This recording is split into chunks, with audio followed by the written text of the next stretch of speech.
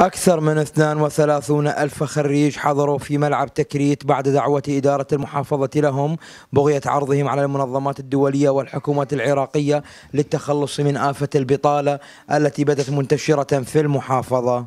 وجود الخريجين في ملعب تكريت هو رسالة لكل المنظمات الدولية والحكومة العراقية بأن هذا الكم الهائل من العاطلين الذي بلغ حسب الإحصائيات المسجلة لدينا أكثر من 32083 خريج آه، بين بكالوريوس ودبلوم وماجستير ودكتوراه.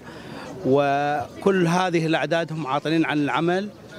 رسالتنا هي من هذا المكان إن الذي يريد استقرار للعراق ويريد استقرار لمحافظة صلاح الدين يجب أن يتعامل مع هذه الشريحة المهمة والمثقفة آه، في إعطائها فرصتها في إكمال مسيرتها.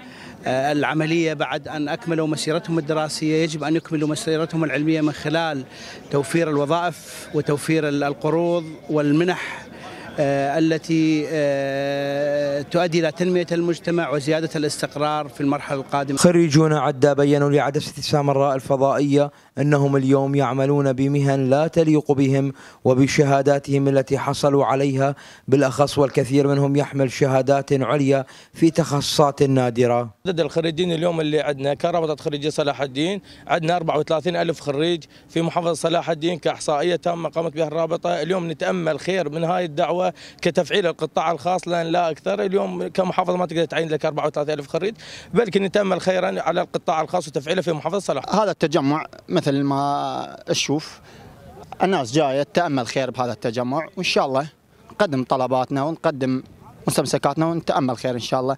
وأغلب الشباب مثل ما تفضلت عاطلين عن العمل تشتغل عمالة ويدعو الخريجون في محافظة صلاح الدين الحكومة العراقية الجديدة إلى ضرورة تعيينهم وإطلاق الدرجات الوظيفية المتوقفة منذ ما يقارب خمسة سنوات. مصطفى الوحادي قناة